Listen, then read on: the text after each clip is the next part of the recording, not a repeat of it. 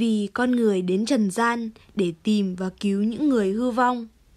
Luca chương 19 câu 9 Amen Vì con người đến trần gian để tìm và cứu những người hư vong. Luca chương 19 câu 9 Amen